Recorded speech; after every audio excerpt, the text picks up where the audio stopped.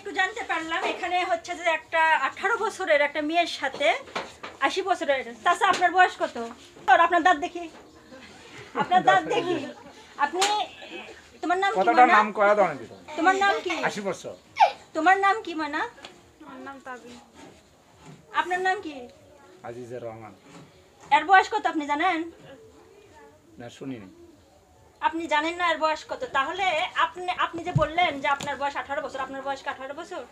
আপনার বয়স আশি বছর চলছে আশি বছর। আশি বছর আপনার দাঁতটাও দুইটা সামনে থেকে নাই। তাহলে আপনি কীভাবে এই এই যে একটা বাচ্চা মেয়েকে বিয়ে করে নিয়ে যাচ্ছেন কি উদ্দেশ্য আপনার বলেন?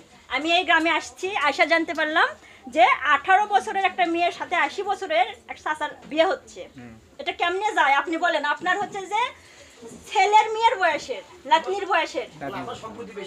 আপনি লুঙ্গি পরছেন আপনি এই বয়সে এসে আপনি বনের শ্বাস দিছেন ঠিক আছে? আবার হাসতেছেন ঠিক আছে? দাড়িগুলো পাকে গেছে। আপনি কীভাবে এই মেয়েটাকে বিয়ে করার জন্য এখানে এসে বসেছেন? একটু বলেন। আপনার সম্পদ বেশি। বউ মরে গেছে। বউ মরে গেছে এই জন্য আপনার সয় সম্পত্তি বেশি আপনার বউ মরে গেছে যার জন্য আপনি এই মেয়েটাকে বিয়ে করবেন। আপনি কি একবার চিন্তা করছেন যে এই মেয়েটার জীবন কি হবে? আপনি যখন দুই বছর দুই দিন পর দেবেন মারা আর- মারা আর হচ্ছে যে এই মেয়েটার সাথে আপনার কি যায়? আপনি বলেন এই মেয়েটার জীবন নষ্ট করছেন কেন? আমি এই গ্রামে নতুন আসছি। আসা শুনলাম এরকম অবস্থা আমি ওদেরকে নিয়ে আসছি। এই তোমার ক্যামেরা ধরো। ক্যামেরা ধরো আপনার পুলিশে দেবো। মেয়েটার এখনও আঠারো বছর প্রায় পুরেই নাই। আপনি পুলিশে দেওয়া দরকার আপনি এই অবস্থা করছেন। এই এই ক্যামেরা ধরো ক্যামেরা ধরো পুলিশে দেবো। পুলিশ চাচা আপনি শুনেন আপনি অন্যায় করতেছেন এটা বলেন যে আপনি অন্যায় করতেছেন।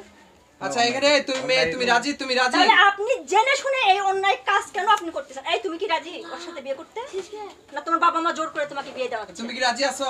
তুমি কি রাজি আছো? হ্যাঁ? আমি রাজি। কেন রাজি কেন তুমি? রাজি? টাকা পয়সার লোভে? বলো। তোমাকে কি কি দিচ্ছে বলো? তোমাকে কি কি লিখে দেবে উনি বলো? আমাকে বাড়ি ঘর জায়গা সম্পত্তি সবই দিচ্ছে। এই কান্না করে কে? এই এই এই, এই, এই। থেকে নিয়ে যাও তো। এমন টাইম এখন এই ক্যামেরা ধরো। এই আপনি স্ট্রেট ফরওয়ার্ড কথা বলবেন। একেবারে স্টিল হয়ে কথা বলবেন। এই বলো তুমি কি জন্য করো বিয়ে করবে? এই বাবা বাইরে করে এখানে গরম প্রচণ্ড মানুষ। একটু দেখান দেখান সবাই মানে বিয়ে দেখার জন্য সবাই আসছে সবাই আসছে। আচ্ছা মূল ঘটনা কি একটু বলবেন আমাদেরকে কি হয়েছে? মূল ঘটনা আমি আসলাম আমি আসলাম আমি আসার পর দেখলাম যে গ্রামে মানে একটা বিয়ের অনুষ্ঠান হচ্ছে। এই জায়গা শুনলাম যে একটা মধ্যবয়সী মানে একটা মধ্যবয়সী 80 বছর বয়স, 80 বছর 80 বছর, বয়স। 80 বছর, হ্যাঁ সরি আমার বলতে ভুল- ভুল হচ্ছে যে আশি বছর বয়স যে একটা বৃদ্ধ দাঁত দেখান দাঁত দেখান। আপনার সামনে দাঁত দুই দাঁত দেখেন নাই। এই চাচা বিয়ে করতেছে এই আঠারো বছর প্রায় একটা মেয়ের বয়স পরেই নাই। সম্পত্তি তার নাকি বউ মারা গেছে তার নাকি অনেক সম্পত্তি সম্পত্তি দিবে ঠিক আছে। বুড়া বয়সে বিয়ে করছে, বুঝছেন? দেখেন লুঙ্গিও পরে আসছে দেখেন সাজ বিয়ের পরে সাজ দেখেন আপু একটু কথা বলি। এখন মেয়ে যদি রাজি থাকে ধরো সবাই ক্যামেরা ধরো। আচ্ছা শুনেন আপু এখন মেয়ে যদি রাজি থাকে মেয়ে যদি রাজি থাকে তাহলে তো আমাদের সমস্যা নাই মনে হয়। মেয়েরা আঠারো বছর নাই সমস্যা নাই না 18 বছর হয়েছে 18 বছর হয়েছে। এই, তোমার আঠারো বছর তোমার হয়েছে? আঠারো বছর হয়েছে একটু বলো। আঠারো হ্যাঁ, হয়েছে। হয়েছে। তুমি কোন ক্লাসে পড়ো? আমি ইন্টারে ইন্টারে তাহলে তো আঠারো বছর হয়েছে। তাহলে আঠারো বছর হইলে সেই ক্ষেত্রে আসলে এটা কি তুমি কি চাও যে বুড়ার সাথে সংসার করবা? তোমার একটা সম্মান আছে না? তুমি যখন তুমি- তুমি তুমি যখন যাবা কোন অনুষ্ঠানে তোমার বান্ধবীদের যখন দেখবা যে ওই পঁচিশ বছর ছাব্বিশ বছরের ছেলেকে বিয়ে করছে তুমি এই বুড়াটা কেমন করে সাথে নিয়ে যাবা? আর চাচা যে আপনি যে বিয়ে করতে আসছেন আপনি তো মানে বিটি আপনি খুশি হয়ে গেছেন মুসকি মুসকি এবার হাসতেছেন। দেখেন দর্শক আপনারা যদি একটু লক্ষ্য করেন দেখেন কতগুলো মানুষ মানে জমা হয়ে গেছে এই বিয়ে দেওয়ার জন্য। আসলে পারিবারিক ভাবেই বিয়েটা হচ্ছে। বাবা মার সম্মতিতেই বিয়ে হচ্ছে। আপনার আপনার ছেলে মেয়ে জানে আপনার ছেলে মেয়ে নাই? বলেন আপনার ছেলে মেয়ে আছে কিনা? তারা জানে না যে আপনি বিয়ে দিচ্ছেন। আপনার ছেলে মেয়ে জানে চাচা? আপনার ছেলে মেয়ে কি জানে যে আপনি হচ্ছে যে বিয়ে করতে আসছেন? আপনার মেয়ে নাই? মেয়েকে জানাইছেন? বলেন। এই যে এই যে দেখেন চুপচাপ আছে মানে বয়স্ক মানুষ কি? চাচাদের বিয়ে করতে যাচ্ছে। আচ্ছা চুপচাপ আছে। একটু কথা বলি মূলত ওনার সয় সম্পত্তি আছে। আর সেই আমি- সম্পত্তির জন্যই মূলত বিয়েটা হচ্ছে নাকি? ভাই আমি জানতে পারলাম যে ওনার সয় সম্পত্তি আছে বউ গেছে মরে। আচ্ছা। বউ গেছে মরে যার কারণে এই এই বয়সের এই মেয়েটাকে বিয়ে করার জন্য বিয়ের আসরে দেখছেন। এই যে দেখেন বাসর ঘর সাজাইছে দেখেন। আসর ঘর? ডাক্তার বাসর ঘর। সিরেন না গরিব মানুষ সিরেন না কিসের?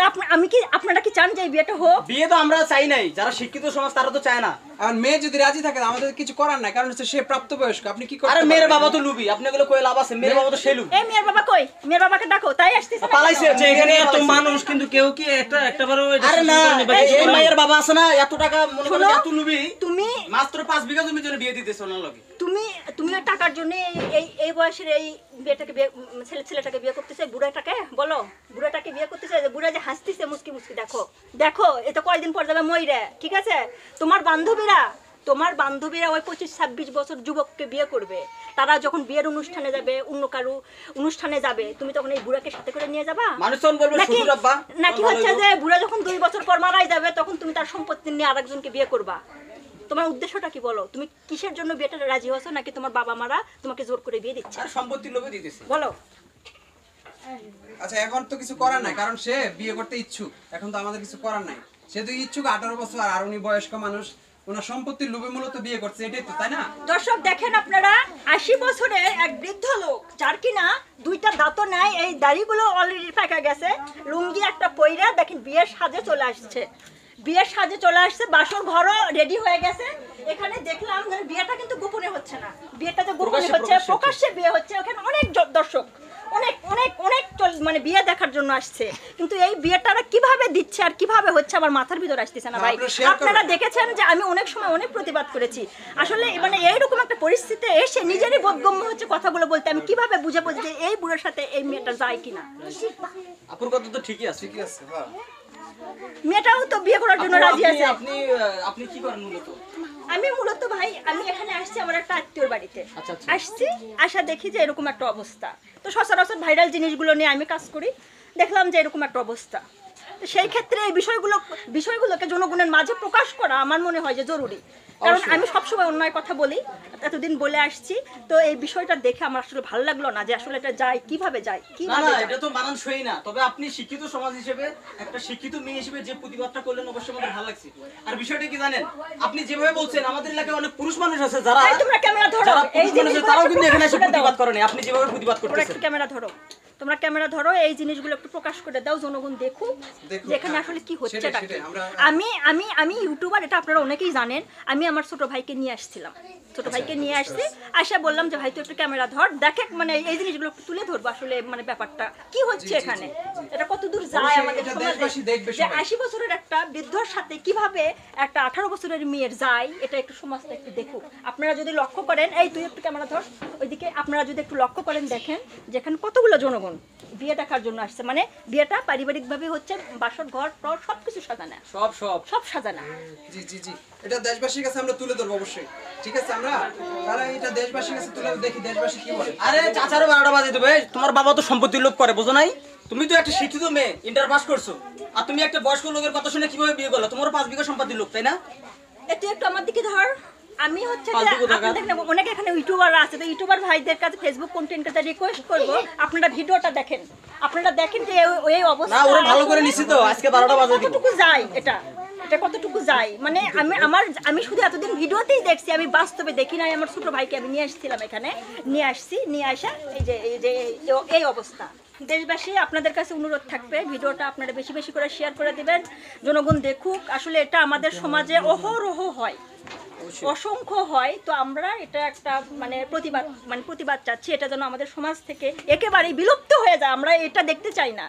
যেই মেয়েটার সাথে যেই ছেলের যায় তার সাথেই তার বিয়ে হোক। এখানে কোনো সমস্যা নাই। কিন্তু সুষ্ঠু সমাজ একটা গঠন হোক।